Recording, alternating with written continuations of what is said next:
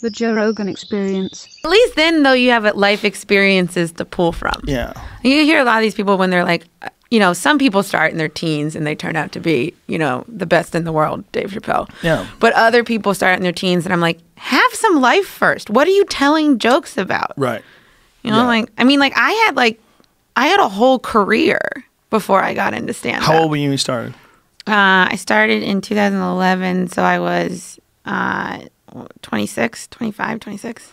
What What was your? You, we were saying your career. You were talking about. So I was I, I started in finance. I used to work on Wall Street. I got a job at Bear Stearns. Um, So that's the Wolf of Wall Street. yeah, that's, the Joe that's where. Joe. Um, Joe still trying to make it happen, uh, but I uh, I started Bear Stearns in the summer of 2007, and then it collapsed in March of 2008, and then I stayed with J.P. Morgan for a couple years after that.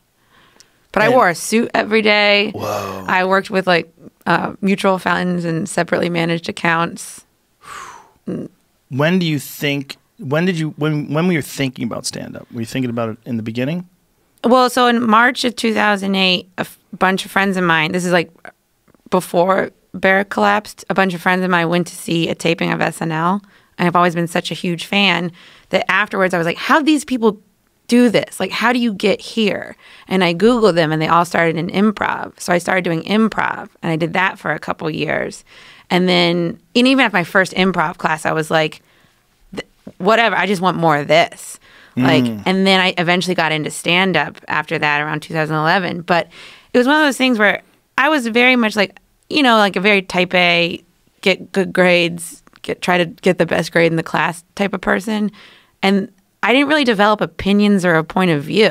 Mm. And so when I started doing improv, I was like, you know, like you make choices and you, you know, like, and then more I got into stand up, I was like, yeah, how do I feel about these things? Like, what do I think about them? And then, like, really just like, I don't know. It's just that's how I, that's really when I feel like I started becoming a person. Wow. I don't really think That's I had a personality before that. Yeah, I wonder if I would have been as curious if I wasn't a stand up. If I, like how much of my curiosity is because I started getting curious about things because I wanted to be able to talk about different things. Yeah. Like I I'm definitely much more observational in the world than I used to be. But I'm also I might be a little like darker too. Like I remember thinking when I was a kid, like I I thought about what my wedding would look like as like a little girl. And now the idea of having a wedding seems ridiculous. Like the idea of me in like a big dress walking down an aisle, like there's none of that I could take seriously. But if you were going to get married, how would you do it? I would just go to City Hall. Really? Yeah. Wow. And then have a party or something? Maybe later. Maybe. I don't I don't know. It hmm. seems weird. It seems weird to have a party right after because you're like, let's see if this is gonna stay. But if you're going to get to the point where you're going to have a legal contract with someone, especially you now, because you don't want to, that Roseanne Barr, Tom Arnold type deal. You don't Oh, want to no. pay some dude off. Yeah, no. Like imagine. Yeah, I Things start can't- popping for you. You got some guy who kind of like comes with you on the road, becomes your tour manager. no way. Yeah. Well, that's the thing. That would never happen to me though, because one of the things I find most attractive is a guy being really good at something. Oh. So I, he's really good at being your tour manager. yeah, I mean, just the best tour manager. The best. Always has the best hotel rooms waiting for you. Yeah, he's like, uh, there's like every time I go in, it's set up the exact way I want room it. stocked with green jelly beans. yeah. Got Fuck you, Tracy. Morgan. yeah, I think. Well, that's the case with most women. Most women, I think, like guys that are good at stuff. Yeah. Yeah, It's rarely it's rare that you see like a yeah, I mean we want I don't know, evolu- provider, someone who's well, you want successful genes. Yeah. and that's really what it boils down to. Men Like- want attractive genes.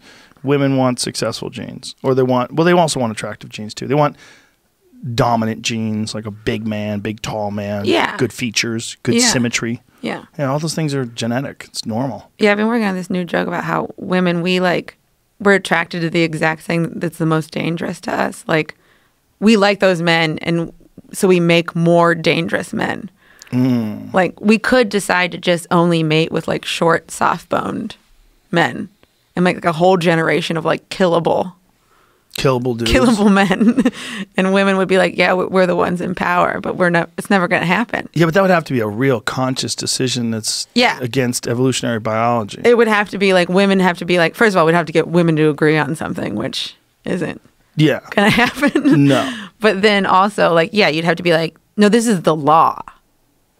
Like a reverse handmaids thing or something. Ooh, reverse handmaids.